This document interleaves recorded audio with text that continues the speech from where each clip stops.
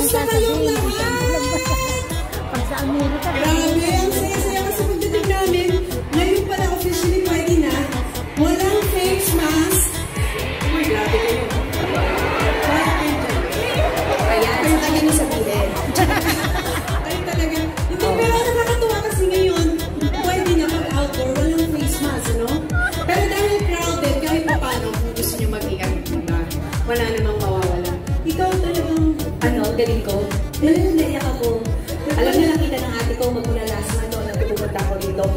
Pakwa, yung sa laban, ginawa ko swero. Ginardian ko, pinaligo ko, ginawa ko Pero bakit nagkagano parang nagwala ka na naman kanina? Ay, hindi. Ano yun? Yun yung tinatawag na staccato. yun yung boses na hindi mo alam. Nasa tono pala ako, pero yung tenga nyo, iba ang tono. Ah, may difference yung teka nila. Yes. na Parang, So sila ang mag-a-adjust sa boses mo? Oo, yan kasi syempre, nasa iba. Sa Pilipinas, tama yung tono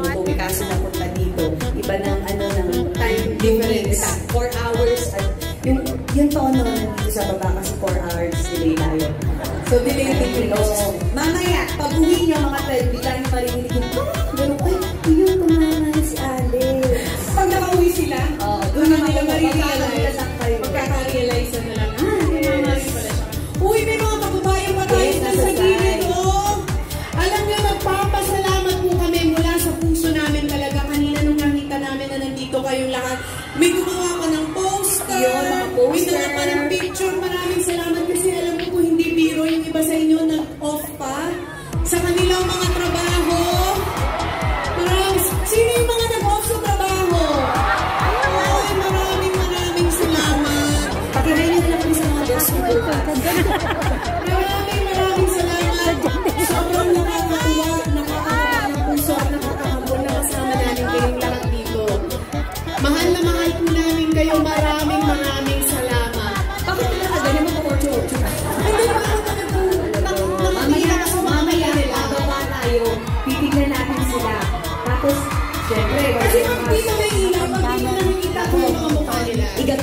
ko kayo lahat dyan. Pwede na. Ayan. Ayun, ang mga ilaw. Kamusta po kayo mga nasa likod? Lahat na nasa likod! Hello, hello, hello sa inyong lahat! Naku, din sa likod, nasa may parang sa side, sa mataas. Naku, medyo mataas na yan. Yung nasa harapan niyo, maikulang na. Tingnan niyo. Ito, po tayo sa harapan. Hello po sa inyong lahat.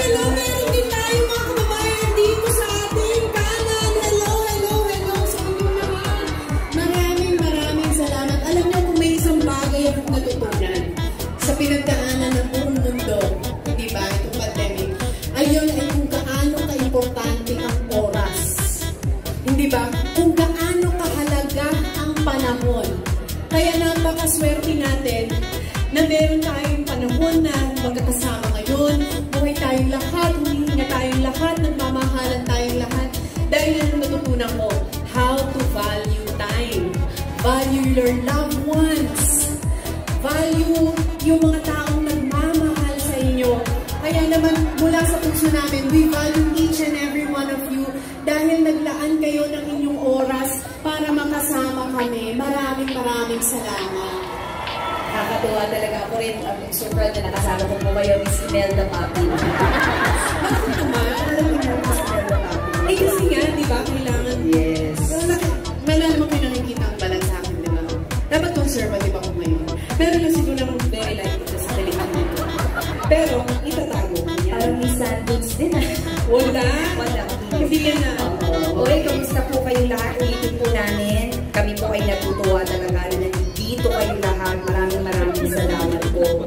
Binabati ko po kayong lahat, lalo-lalo na po yung mga ko. so, kamusta po talaga kayo? din natin lahat ng may Pero alam birthday. mo, Sino ang celebrate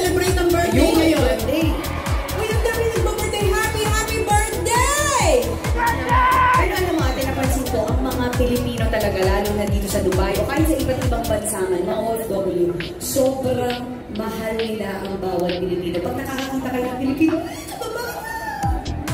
napakabuti talaga. yun. Parang very excited talaga sila. Miss na miss nila ang kanilang mga kababayan. Sobrang excited. Parang pag sa Pilipinas naman, nakasalubin mo yung kapitbahay mo,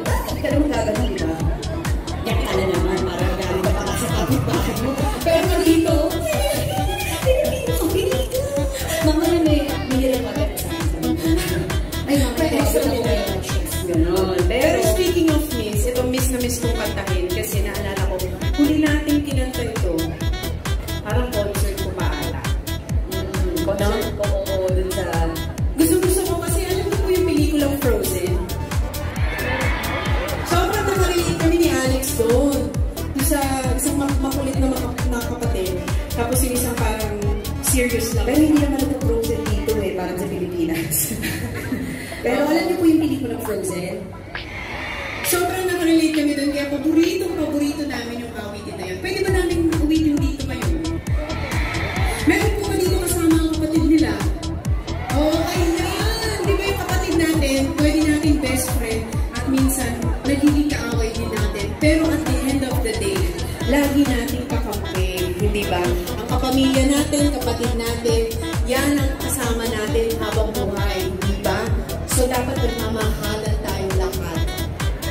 Ano, kanta tayo. Favorite natin ito. Baka sabi ko, kanta, hindi na ba ako makatira ito, pumiyak na nga ako. Baka sabi ko, Ewan ko nga ba sa'yo? Yes, mahal na mahal ko ang aking kapatid. Talagang mahal na mahal ko po. Nagmamahalan Siya ang the best na kapatid ko dahil wala rin naman ako ibang kapatid. Wala siya the, the best talaga. So, sana yun din, magmahalan tayo magkakapatid, magkababayan. Oo, yes. Ang pamilya natin. Alam niyo, isang patunay na mapagmahal ng mga Pilipino dahil halos lahat ng mga Pilipinong nandito ngayon sa Dubai ay nagtatrabaho dito para sa kanilang mga pamilya. Tama? Ganyan tayo mapagmahal, hindi ba? Nahanda tayo mag- magsakripisyo, magsipag, magtiis, alang-alang sa mga pamilya natin Yes. para mabigyan sila ng magandang buhay. Kaya mabuhay kayong lahat na nagtatrabaho dito sa Dubai.